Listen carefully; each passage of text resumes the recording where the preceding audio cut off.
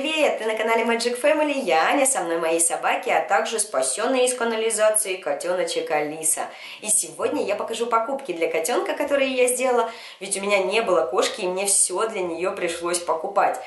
Я потратила больше 10 с лишним тысяч рублей, ребята. И самое дорогое из всего этого, это очень классный домик когтеточка для Алиски, который, я думаю, ей должен понравиться. Сегодня мы посмотрим ее реакцию на покупочки, а также я назову победителей нашего фотоконкурса с кормом Platinum.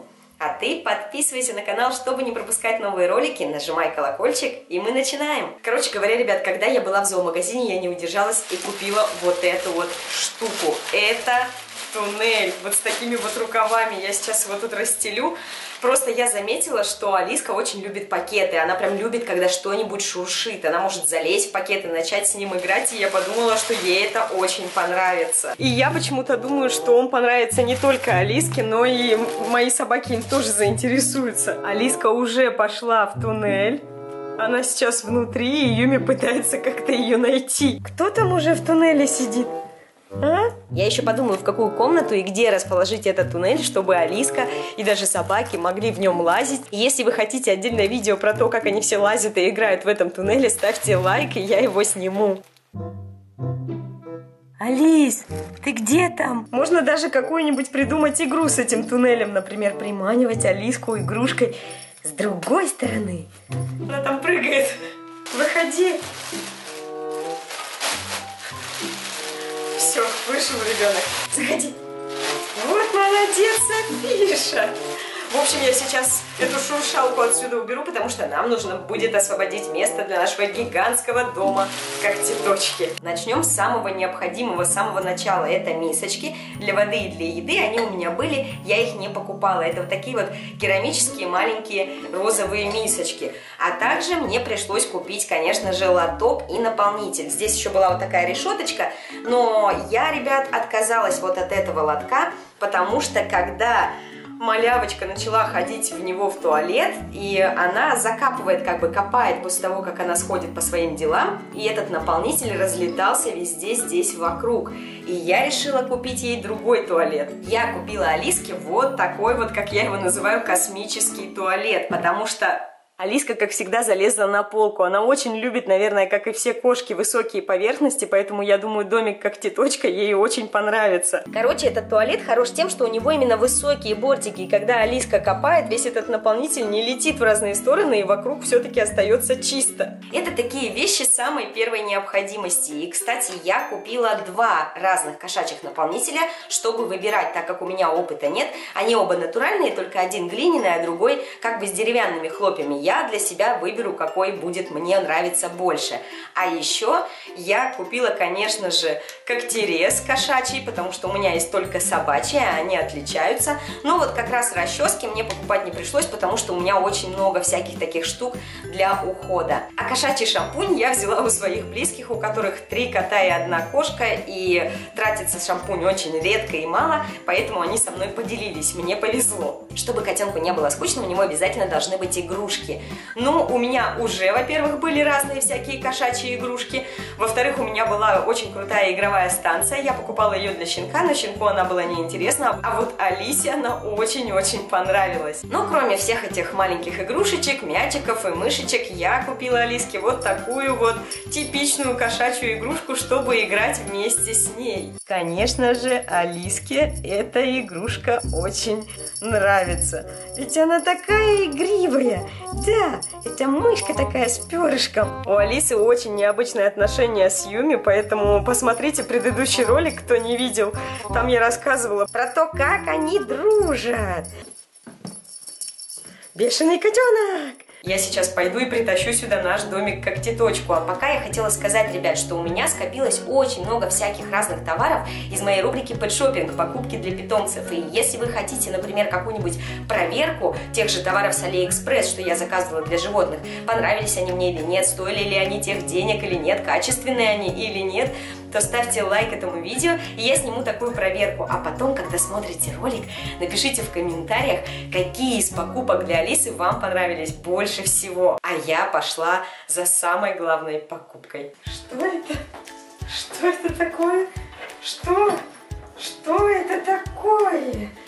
Во какая штука! Вот она, самая дорогая покупка для котенка за семь с половиной тысяч рублей. Это вот такой вот большой дом, как теточка, в несколько уровней. Он вот такой вот мягенький, приятненький. И Алиска хочет посмотреть, что же это такое. Да, Алис, это для тебя конструкция. Внизу вот такой вот домик. Эй, ну ребята! София, Иван, вы идите. Главное не разрешать ребятам сейчас заходить и жить там, потому что это личное пространство пространство Алисы. Следующий этаж это просто вот такая вот мягкая поверхность, а дальше идет вот такая труба-туннель. Алиска, Алиска уже залезла на верхний этаж, верхнюю лежаночку. Здесь такая полочка, как теточечка.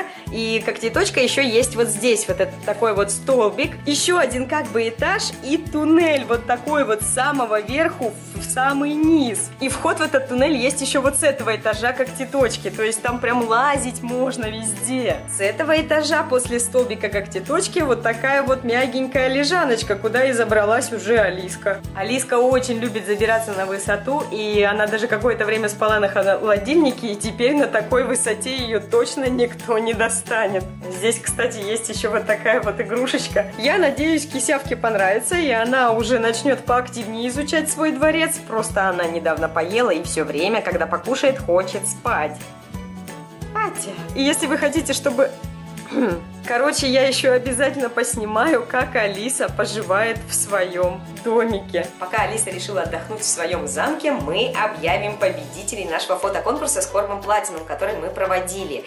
И, ребят, я скажу честно, я выбирала тех, кто действительно старался, и это не обязательно должна была быть супер качественная фотография. Наоборот, это могла бы быть и просто фотография на телефон с кормом, но в нее должна была быть вложена какая-то суть, какая-то идея, интересная история или интересное описание, или сама фотка придумана интересно. Да, Юмичу, не лежи меня за нос.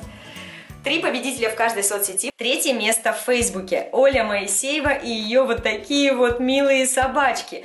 Фото получились простыми, но, как я говорила, участвуя в Фейсбуке, у вас больше шансов выиграть, так как там меньше участников. Второе место. Вероника Савкова и ее вот такой вот шпиц. Кстати, его тоже зовут Алиса, и она придумала оригинальную подпись «Алиса в стране Платинум». И фото получилось очень красивое. И первое место в Фейсбуке занимает Мария Окунева. Она реально сделала сделала просто шикарные фотографии своих пуделей с кормом. Видно, что Мария реально старалась. Собачки очень красивые, фотографии красочные, в них передана еще и такая осенняя атмосфера. Поздравляем! В Инстаграме третье место занимает Елена Шлыкова и ее очень милые собачки. Во-первых, Лена сделала не одну фотографию, а несколько, и они все очень разные и очень милые. И каждая из них она написала очень милую подпись. Второе место в Инстаграме занимает Шейла Бьюти Дог или Ольга Васюкова. Оля тоже сделала не одну фотографию, а несколько. И пусть фотографии сделаны не на профессиональную технику, но каждая из них по-своему интересна, оригинальна, с прикольным сюжетом. И первое место в Инстаграме получает Вероника Андрусенко и ее очень милая собачка. Сразу видно, что Вероника вложила силы в эти фотографии. Они сделаны на разном фоне, в разных позах, и каждая по-своему интересна. Вконтакте третье место занимает Виктория Рождественская и ее песик Арчибальд. И не только потому, что Виктория действительно тоже старалась и сделала много разных фотографий с кормом, но поразило и то, что она действительно старательно каждой фотографии сделала интересный большой текст. Второе место ВКонтакте занимает Анна Титова и ее Йорк.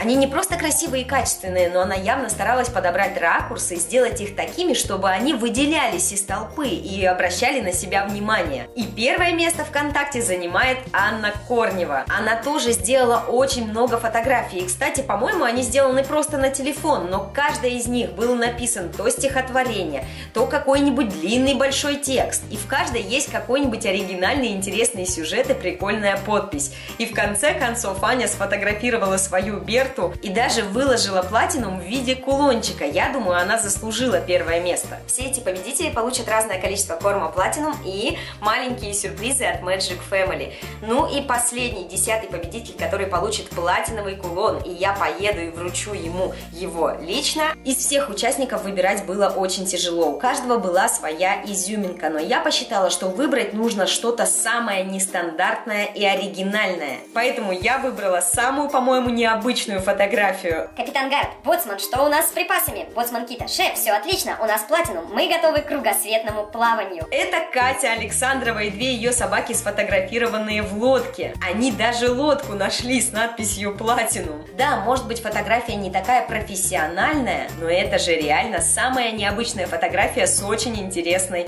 подписью. И только потом я увидела, где живет Катя. И это значит, что вручать платиновый кулон я поеду к Кате в Сочи. Так что, может быть, ребят, мы там с вами увидимся. Те, кто не участвовал или не выиграл, не расстраивайтесь, хотя бы потому, что в ближайшее время я устрою еще один конкурс уже для всех, и тех, у кого есть питомцы, и тех, у кого нет питомцев. А вы подписывайтесь на наш инстаграм, ВКонтакте, на другие каналы, переходите, и скоро увидимся в новых роликах. Пока! Я мечу.